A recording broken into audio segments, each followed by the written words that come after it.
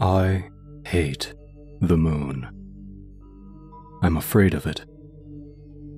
For when it shines on certain scenes familiar and loved, it sometimes makes them unfamiliar and hideous. It was in the spectral summer when the moon shone down on the old garden where I wandered. The spectral summer of narcotic flowers and humid seas of foliage that bring wild and many colored dreams.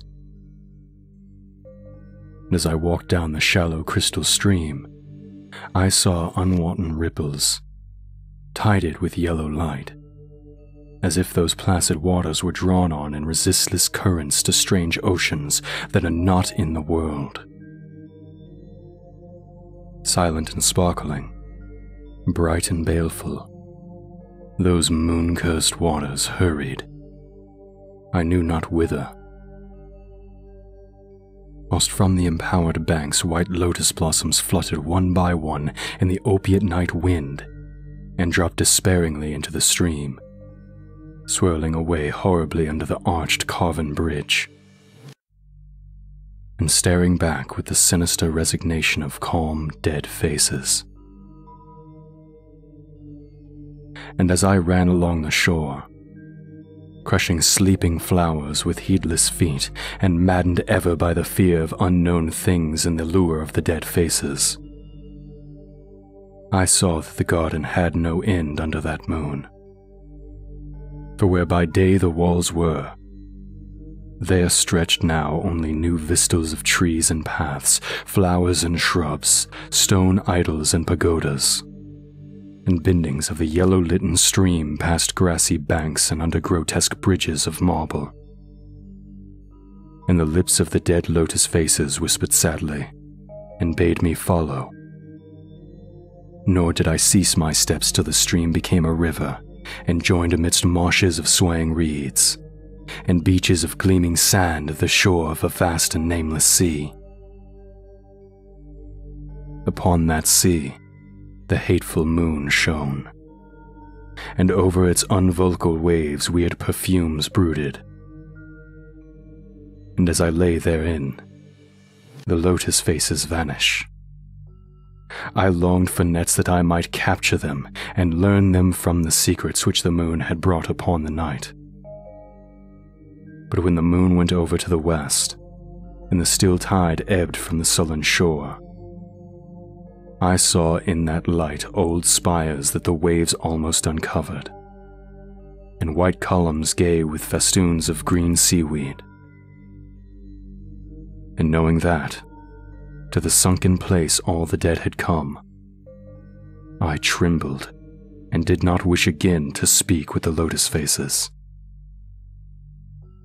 Yet when I saw far out in the sea a blackened condor descend from the sky to seek rest on a vast reef, I would fain have questioned him and asked him of those whom I had known when they were alive. This I would have asked him had he not been so far away. But he was very far, and could not be seen at all when he drew nigh that gigantic reef. So I watched the tide go out under that sinking moon, and saw gleaming the spires, the towers, and the roofs of that dead, dripping city. And as I watched, my nostrils tried to close against the perfume conquering stench of the world's dead. For truly, in this unplaced and forgotten spot had all the flesh in the churchyards gathered for puffy sea worms to gnaw and glut upon. Over those horrors, the evil moon now hung very low but the puffy worms of the sea need no moon to feed by. And as I watched the ripples that told of the writhing of worms beneath, I felt a new chill from afar out whether the condor had flown. As if my flesh had caught a horror before my eyes had seen it. Nor had my flesh trembled without cause for when I raised my eyes, I saw that the waters had ebbed very low, shooing much of the vast reef whose rim I had seen before.